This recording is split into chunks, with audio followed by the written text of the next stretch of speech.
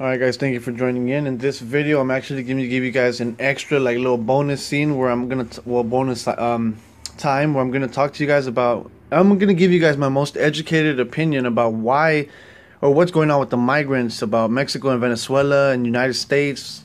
I'll give you guys like honestly, just watch the video. I'm not going to spoil it. Just watch the video. I'm to translate where Juan Guaido has auto-proclaimed himself as president of Venezuela not caring about Nicolas Maduro being, you know, president by by legal rights. Venezuela vive uno de los momentos clave en su historia. Miles de venezolanos han visto en Guaidó una luz So Venezuela right now is in its uh, one of its most historic moments.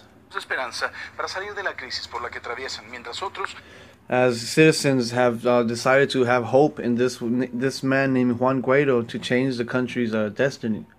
muestran fielmente su respaldo a Maduro. Los países más poderosos, Estados Unidos y Rusia, tienen a su preferido. Ese es nuestro And well, United States and Mexico, I mean United States and Russia have their um, you know their candidate. tema del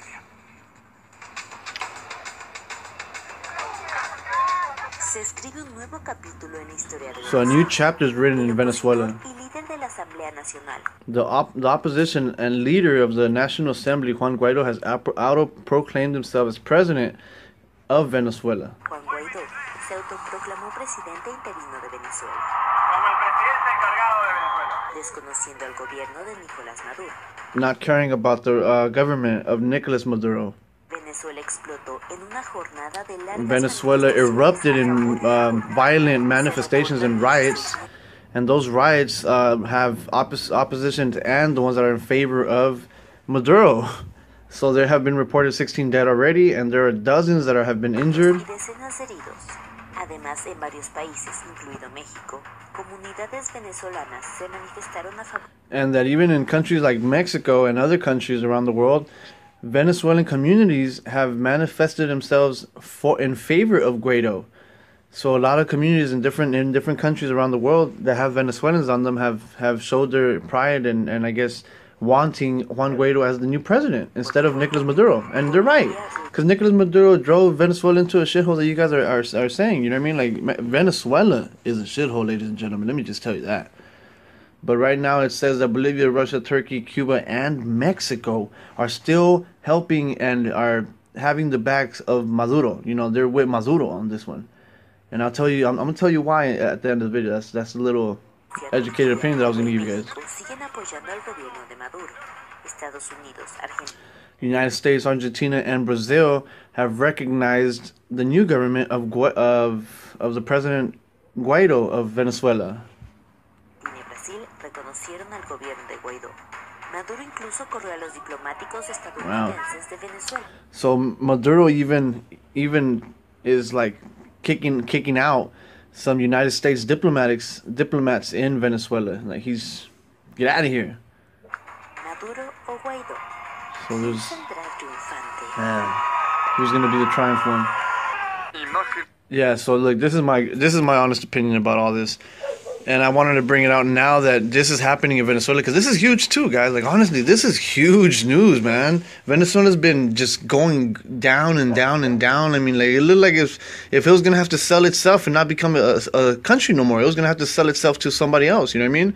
It was gonna get annexed to like um, Colombia or something, or I don't know, Argentina. I mean, I don't know, but something was gonna have to happen. Someone's gonna buy that country. So let me tell you guys what's going on right now.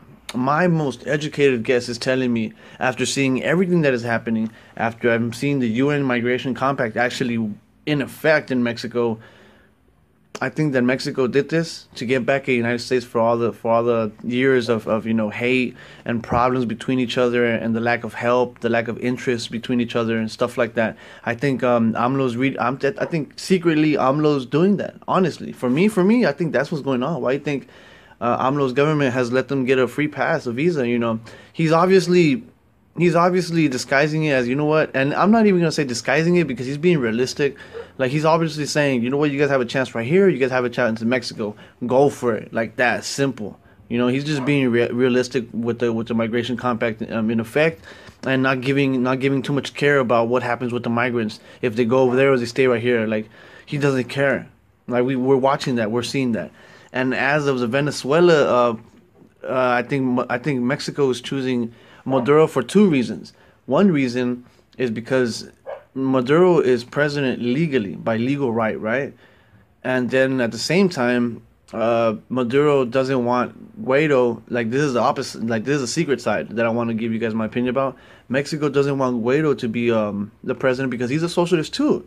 Like, he's a socialist too, and he knows that if he um, if he has the power of, of the the whole country, he's gonna do the best interest for the country. Um, uh, logically speaking, so he's gonna the oil oil prices. He's gonna put them at international levels, you know, in an orderly fashion. Like he's gonna he's gonna bring everything back up. He's gonna try to raise his country back up out of this poverty-stricken uh, country. Third, it's not even fourth world, bro. Like this. Well, I'm not gonna say fourth world, third world country that is is really in debt. Like it's the inflation on the money makes the money nothing, man. They carry stacks of money. So just to be just to be um right on right on what I'm trying to say is Mexico wants Maduro because Mexico needs oil to get it get its own self back to how it was back then before all this oil crisis happening in the huachicoleros.